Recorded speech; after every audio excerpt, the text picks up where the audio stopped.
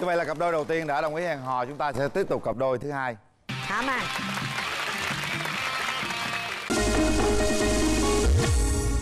em hay quên. Bây giờ nói danh hậu cũng quên. À, quên. Em mưa tỏ tình. Anh yêu em cái nó đi về thôi. Mưa rồi đi về. Răng hô. Nhưng mà thích đầu hói. Ừ. Không thích hô nhưng mà thích nói mời bạn nam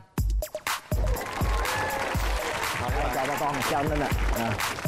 mời bạn nữ.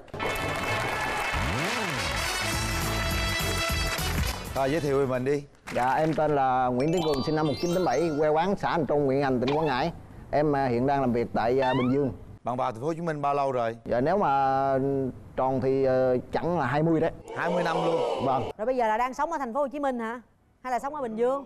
Em ở Bình Dương với lại thành phố này luôn dạ vâng do em làm việc khắp nơi hễ ờ, có việc gì ờ, là em cứ làm hết. Nhưng mà cái nghề em đang đam mê chính gốc đó là điện tử. Nhưng mà cái nghề chính em làm tùm lum là làm cái nghề gì? Chẳng hạn như bây giờ chị muốn em giao hàng hay là chị muốn em chạy báo cáo thuế làm văn phòng phỏng à, hãy cái gì mà liên can đến ờ, tiền bạc là em làm được. Rồi mời bạn gái. Em xin chào chị Cát Tường, chào anh Quyền Linh, chào bạn trai và tất cả khán giả trong trường quay. Em tên là Bích Mận, năm nay em là 27 tuổi à, Hiện là kỹ thuật viên gây mê của Bệnh viện Thẩm mỹ tại thành phố Hồ Chí Minh. Nghe có vẻ hay ghê. Nghe ghê quá, ai nói chuyện với em mà không được là em chọt cái mê luôn.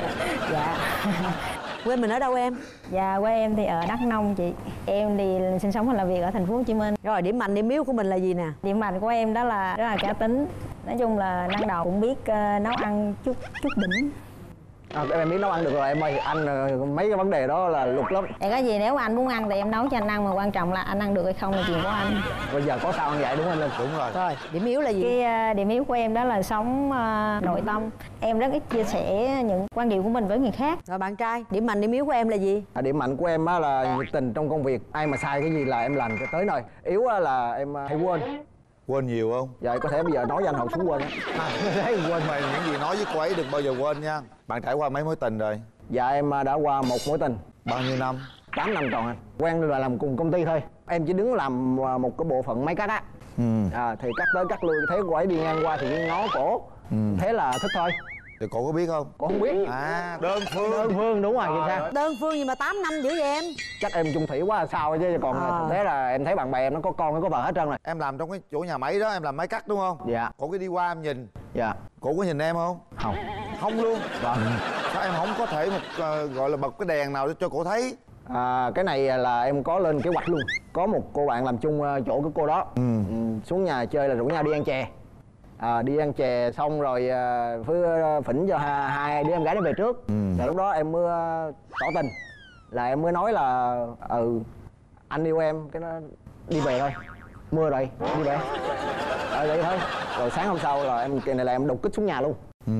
Tại vì mình ờ, nói mà cô ấy vẫn không hiểu mà. Nói anh yêu em thì sao không hiểu? Ở đây Rồi, rồi đột đột đột kích xuống nhà là sao nữa? giờ xuống nhà thì ờ, kỳ này là ngồi chung với um, quả ba bốn người này thì em mới ờ, hôn quấy luôn. Kỳ này hôn mà hên quá ra không bị gì chứ thôi. Gan vậy đột kích xuống nhà người ta mà dám hôn người ta luôn. Anh ơi anh đừng làm liều vậy với em, em có thẳng thuốc mê đó.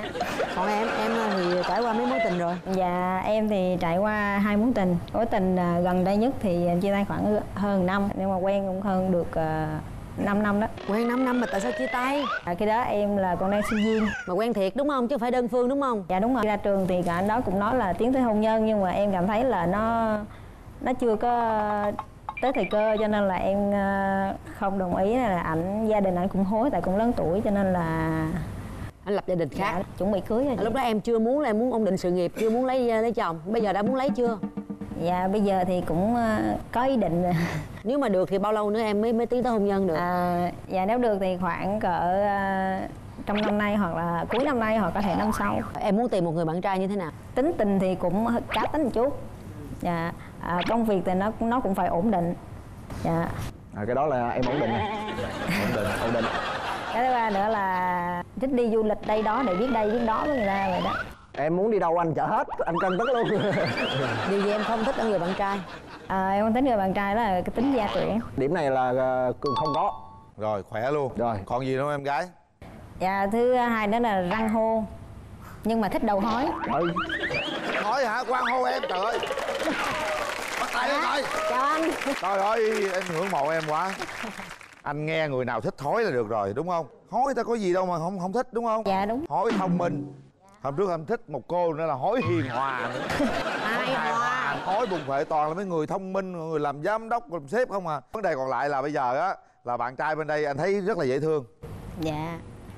Nói chung là cũng có duyên đó nha nói năng hài hước. Mà anh thích em chỗ là không không không có ghét hối thích hối là được rồi. Dạ. anh chấm cô gái rồi đó. Được. Nhiêu đó là chấm thôi đó hả? Nhiêu đó thôi. Anh chấm đơn giản quá. Chào nhiêu đó thôi bay qua liền đây là là tập đầu tiên có người không ghét hối. Đúng rồi. Rồi. Trời ơi bộ ông hói không không. Không. Hàng hiệu đang mà hiểu hả? Hàng hiệu mà sao ế đấy à, có lẽ là do em ờ, ích kỷ. Ích kỷ là sao? Cụ thể. Cái gì cũng muốn thuộc về mình. À. Đúng á. Em nói đúng bây giờ anh anh nhận ra điều đó đó. Đấy. Chứ ờ, em cũng có duyên nè. Vâng. Cũng nhanh nhạy nè. Vâng. Cũng ờ, năng động nè. Vâng. nói chung là có mặt sáng sủa đúng không? Vâng thì sai mà. Có công việc không? Có chứ. Á. vậy thì mình à, bớt ích kỷ chút xíu đi. Mình biết bỏ luôn chứ bớt gì ích Đâu kỷ có đi. tuyệt đó bỏ luôn. Cái này là nếu mà có bạn gái là tách ra. Tạt ra. Vâng. phải chi mà bỏ sớm là biết đâu giờ này có con có cái luôn rồi. Thế mới bỏ luôn bỏ. Mà bây giờ bạn nữ hơi khó tính. Dạ. thấy mặt nãy giờ trầm tư lắm. Ờ em định em thuyết phục bạn nữ như thế nào? Cái đó em làm được. Được không? Được. Ông chưa có bạn gái sao không biết ông làm được? Tại thấy ờ, mấy cái phim Hàn Quốc tình cảm nó làm mà. Ta làm sao? Nói thử nghe coi. Chẳng hạn như là nó chẳng hạn như bạn gái khóc lại đi dỗ. Dỗ làm sao? Em nín đi thôi vậy thôi. Ngủ rồi người ta đi đổ nín không ta còn làm gì tiếp theo nữa. Chừng nào thì mình tiến tới hôn nhân được. Giờ chậm lắm là hai năm sau. Còn nếu mà nhanh lắm thì cuối năm làm luôn. Bây giờ mình sống là mình ở đâu? An cư lạc nghiệp ở đâu em là chỉ có hai bàn tay trắng nhưng anh tin rằng anh sẽ làm nên tất cả những gì em muốn. Sau đó giờ không làm đi phải đợi có em mới làm. Chưa có động gì đúng rồi. Nó nó không có một cái gì của nó để để cho mình có nhưng cái mà chị có theo như cảm giác của chị nãy giờ chị thấy bạn gái đang lo lắng ở cái đoạn là em không có việc làm ổn định. Đâu có em đang làm điện tử mà ổn định hoàn toàn ổn định hoàn toàn xem nói là ai kêu đâu em đi đó. À, cái đó là chẳng hạn như là Làm thêm. làm thêm. Em không có làm cho công ty xí nghiệp đó là nghề tự do. À. coi như là em chỉ mở một cái tiệm nhỏ thôi. Có mở tiệm. Vâng. Mà làm chủ tiệm Đúng sửa rồi, chữa. đúng rồi. còn đi làm thêm là ai kêu làm gì làm nó là đi làm thêm. Đúng rồi. Rồi hiểu rồi. Nãy giờ nói cho bạn gái bạn nghe bạn thông. Tại vì lúc mà em nói em đi tùm lum mà không có ổn định là bạn gái hoang mang lắm. À rồi rồi rồi. Đó, đó thì công nãy giờ là tôi giúp tôi hỏi lại cho bên đây nghe đó. Ồ thank you Vinamilk rồi nghe rồi ha là có nghề làm điện tử chứ không phải là ở không nghe. Nói chung bạn trai bên đây có duyên đó vấn đề ích kỷ thì bạn đã nhận ra được rồi. Rồi bây giờ mình hỏi thêm ý kiến người thân đi cho em yên tâm. Bây giờ em đi với ai nè? Dạ em đi với chị dâu của em. Chị dâu của em rồi cho chị gặp chị dâu của em. Dạ em chào chị Cát Tường, em chào anh Quyền Linh ạ. rồi em. Dạ thật ra thì à, mận nhà em thì cũng vui vẻ, hòa đồng với mọi người lắm. Đi đâu thì mọi người cũng thích hết. Có cái thì sống nội tâm, ít có chia sẻ với ai lắm, nhưng mọi người có thể chia sẻ được với mận. Bù lại anh này cũng có thể, cũng vui vẻ, hy vọng là mận sẽ có thể tìm được người chia sẻ phù hợp với mình. cảm ơn em. Rồi em đi với ai? Dạ em đi với lại ờ, ông anh đó gọi là ông anh kết nghĩa là anh Lê Mỹ Đắc và Lê Mỹ Đông với lại Phi Hùng Apple. Xin ờ, chào anh Quyền Linh, chị Cát Tường và xin chào ờ, quý vị khán giả trong trường quay và chào em gái. Cường thì trong công việc làm ăn thì Cường rất là năng nổ và giao lưu tốt. Chỉ có một cái điểm yếu là Cường ờ, nấu ăn là hơi bị kém nhưng mà vừa nãy nghe em gái nói cái này là em nấu ăn Em rất giỏi rồi là chứ. quá là ok rồi. số ngày mì tôm không ạ Nhưng mà em gái bên này thì theo anh nhận xét thì nhìn em học sinh, hiền lành, mặt rất phù hợp. Thì hai em ờ, gặp nhau đây cũng rất là một cái duyên rồi. Thì hai em cho nhau một cơ hội Vâng. tìm hiểu thì tiến tới xa hơn. dạ rồi bây giờ chúng ta sẽ có ờ, hai phút để trò chuyện với nhau nha. Kéo màn lên mình tấn công liền luôn. Vừa tặng hoa vừa hát luôn cũng được. Đứng sẵn luôn vậy hả? Hát luôn. Anh tặng em quá tại à, anh à, đến đây ở chương trình cũng may mắn lắm mình giao lưu với nhau mình gặp gỡ. Thì anh cũng xin à, hát một bài để tặng em nha. Nhìn em gái hát nha đừng nhìn đi đâu nha. Chẳng qua là duyên số anh và em có nợ nhau thôi cảm ơn ông trời cao đã cho đôi mình thương nhau lúc nào. Anh ở thành đô ngựa sang chẳng ăn biết bao nhiêu dối lừa. Khi anh về đây mới thấy thương em với dầu nắng mưa. Rồi xin hát à. Tôi thấy thò cái tay qua rồi rút tay lại vậy à đâu có tại vì thấy à, em gái em cũng hơi ấy nhát em em phải phải phải rụt lại chứ không mất công. Đâu do anh thôi chủ động thôi chứ em chỉ đứng im mà em đâu làm gì. À. thì anh thấy em là cũng dễ thương đẹp gái. Vâng. Anh à, cũng chưa biết tên em mà em tên gì nè Bận Đúng là anh dễ quên quá. Anh mà quên mà gặp thuốc mê nữa đảm bảo anh không thèm nhớ gì nữa. Rồi. nhớ tên chưa? Chưa Chưa luôn. Vâng thì mận. Mận mận mận mận. Mận hỏi thì đào xin thưa giường hồng đã mở nhưng chưa ai vào. À không lên lên đây đúng thiệt luôn thiệt anh ơi. Ở dưới đâu khác lên này đâu khác liền. Thì à, bây giờ hiện tại là em công tác ở đâu? Hiện tại thì em đang làm à, ở thành phố Hồ Chí Minh anh Bệnh viện thẩm mỹ. Mình đến đây thì à, mình cho nhau cơ hội đi. Gì vậy chưa gì cơ hội gì? Anh khẳng định câu một từ gì đó cũng được Em thấy là được là được à vậy một là chốt hạ luôn ha? Dạ chốt luôn. Ví dụ mình à, đến được thì à, à, thì mình sẽ tiến xa thôi còn nếu mà chưa được thì người ta làm bạn. Dạ. Vâng. Đó chỉ có vậy thôi. Chắc quất vậy trời. Giờ lên đây muốn kiếm bạn hay kiếm vợ? Tức là cô ấy muốn á, như thế này nè. Mình chứng minh được rằng khi mình cô ấy về với mình á mình có đủ bản lĩnh để che chở cô ấy để cô tin mình cô ấy thuyết phục mình thuyết phục cô ấy bấm nút được chứ. Mình kêu ta gọi tạo cơ hội mình không có nói gì hết sao ta tạo cơ hội được? Vâng nhưng mà em thấy có vẻ là không hợp cả. Sao không hợp? Không đó là thấy rõ luôn. Tại sao? Lý do gì em nói không hợp? Kiểu như là nó nó không có cái gì gọi là gần gũi. Cái đó anh nói thật cái đó là anh nói bằng cái ờ, lương tâm anh. Không cái đó là cái cảm nhận đầu tiên thì cái đó cũng tốt. Anh á thì phải ở gần anh mới hiểu được. Đúng rồi. Tại vì anh chất ờ, rất khó gần. Tại vì anh linh làm chương trình anh mới gần được em đưa anh cho anh chứ anh rất khó gần. Cho nên là thôi ta làm bạn đi. Dạ. ừ. Nói chung anh muốn lấy vợ mà anh chưa từ bỏ thói quen của anh thì nói chung rất là khó. Qua cách cái ăn nói của anh á Thì thật sự anh là người thẳng tính. Nhưng mà qua công việc của anh á Em thấy anh là người giống như là không có một cái ý chí kiên định. Thật sự nếu mà nếu mà một người mà ta có ý chí kiên định hoặc là người ta sẽ định hướng một cái gì đó thì người ta phải trước tiên người ta sẽ ổn định trước. Thứ nhất là cái đầu tiên đó là cái công việc. Công việc ổn định người ta sẽ tất nhiên cái tâm người ta sẽ ổn định và con người người ta sẽ ổn định.